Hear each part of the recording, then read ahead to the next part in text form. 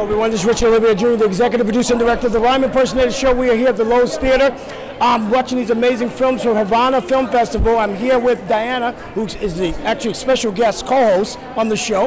Um, Diana, thank you for coming. Oh, thank you for having me. I'm very excited about that. Uh, it's, this is actually one of my first experiences um, doing this, so let's see what's going to happen. well, that's the thing. A red carpet, we can just see. Sometimes it's spontaneous, isn't it? It is, it is. And uh, honestly, I'm very happy to be here because I really have a passion for everything that is Cuban. You know me, I speak very well um, Spanish, I love the music.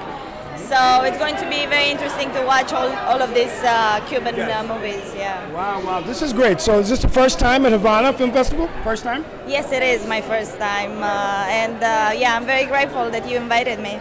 I'm very happy you came. I'm I really having a great time. I'm meeting a lot of very interesting people. There so. you go. There you go. Well, this is great. We hope to see you at more red carpets, and thank you for coming to translate for us and actually be our special guest host. Oh, this is my pleasure. Thank you so much for having me. You're very welcome.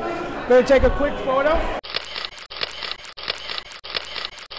A tocar soneros, toquemos de corazón y en este bonito día vamos a hacer un rumbo